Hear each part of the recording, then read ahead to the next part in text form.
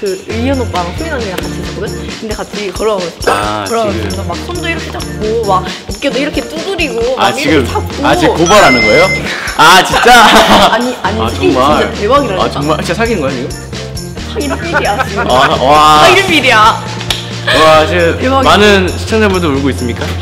어머 당사자가 오신 어머 난 몰라 당사자. 안녕 안녕. 왜? 왜?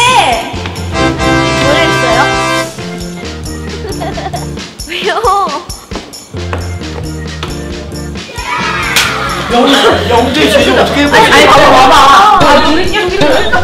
아니 영재가 잡은 거야. 봐봐 이렇게 말해서 이렇게 끼어 손 잡고 대박. 이거 때린 거 잡은 거라고. 대박 사건. 대박 사건 진짜. 와, 대박 사건.